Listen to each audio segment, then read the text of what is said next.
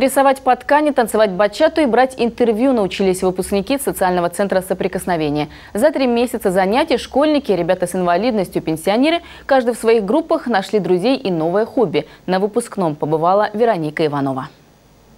11-летний Костя показывает свои рисунки. За три месяца занятий в реабилитационном центре соприкосновения одно особенно понравилось.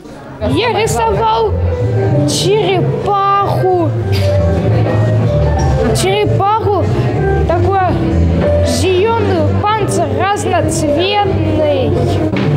Возникает, во-первых, взаимодействие с другими ребятами, обсуждение, что нарисовали, у кого что получилось. Первые выпускники центра – дети с особенностями здоровья и без. Здесь же группы тех, кому за. Это и есть инклюзия. Что-то полезное и интересное нашли для каждого.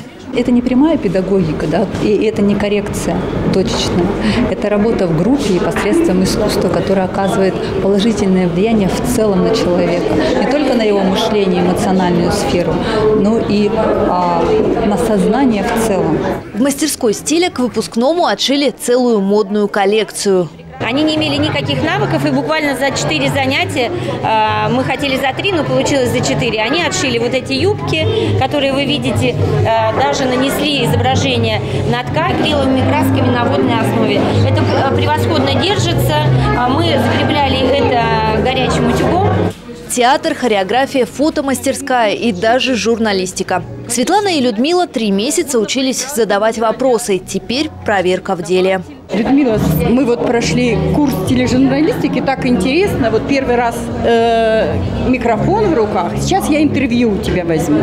Как у тебя впечатление после этого курса журналистики? Как тебе понравилось здесь? Было все очень интересно.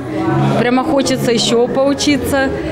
Мы были в настоящей телестудии, сняли настоящие ролики. Я в восторге. Наши задачи заинтересовать, показать э, ориентиры какие-то, нацелить людей.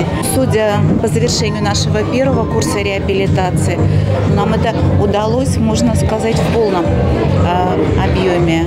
Уже завтра в соприкосновении стартует второй набор. В центре ждут новых учеников, которые будут заниматься все лето, причем бесплатно. Вероника Иванова, Евгений Макаров, Новосибирские новости. Спасибо за то, что смотрите «Новосибирские новости». Если вы хотите оперативно получать информацию, подписывайтесь на наш канал, ссылка внизу. А здесь мы разместили для вас интересное и полезное видео. Приятного просмотра!